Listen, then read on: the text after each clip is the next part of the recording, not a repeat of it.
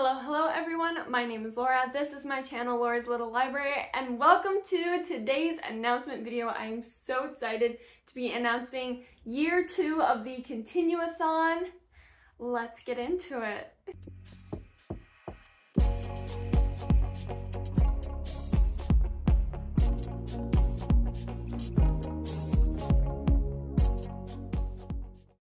For those of you who did not hear about the Continue-A-Thon last year, basically it is a readathon that I created that is two weeks long, and it's all about continuing series and companion novels. Basically, I feel like there are so many of us, myself included, who start series but then never finish them, or uh, we're waiting for the next book and then that book comes out and then oh you never actually read it or you want to reread a previous book. There are so many excuses for why we're in the middle of so many series and trilogies and duologies. It's insane. I wanted to create a readathon that would allow us to just set two weeks aside to make some progress on our series goals. I'm not picky about format. You could physically read it ebook audiobook doesn't matter. It can be duology, trilogy, series, companion novels, anything that kind of just relates to each other that you want to read counts. So let's get into the specifics for this year. I have made some changes to the Continue-A-Thon for this year. The first being the time, the time frame.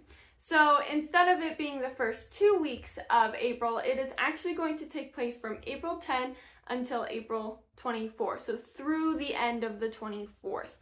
It just works out better in my personal life and hopefully it works out better for some other people. So it is still going to be two weeks like it was last year. It's just going to be a little bit later in April.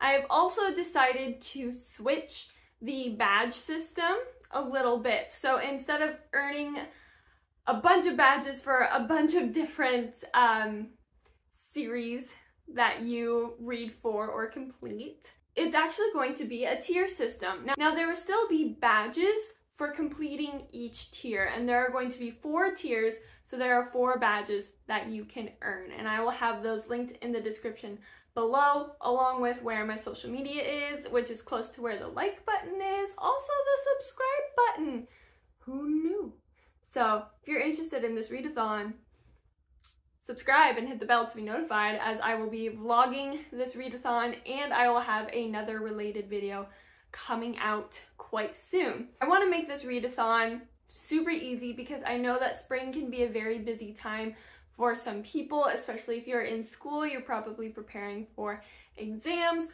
or if you work in an academic setting, end of the year, end of the school year can be very busy or if you're starting to plan vacations. So I tried to make this a little bit less like stressful, but still have like some accomplishments that will hopefully help you read your series and also just relax a little bit and continue to read. So the first tier, very simple, you read a book.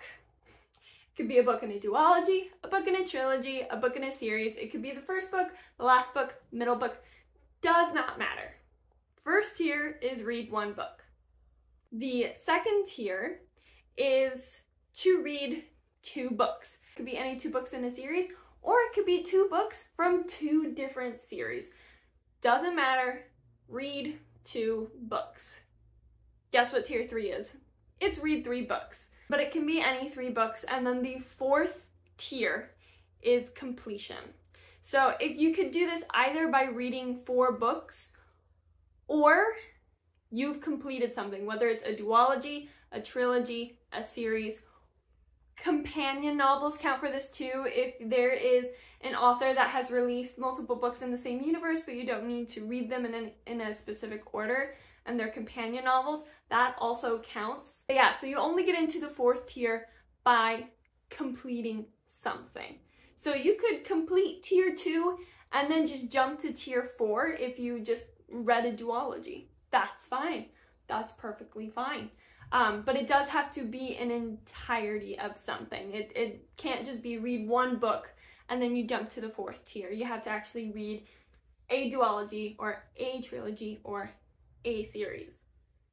I hope that made sense. If it didn't, feel free to ask questions in the comments. I will do my best to explain it there, but I hope that this made sense. So yeah, I tried to make it much more simpler on you and a lot simpler on me is now I only have to create four badges instead of like 30.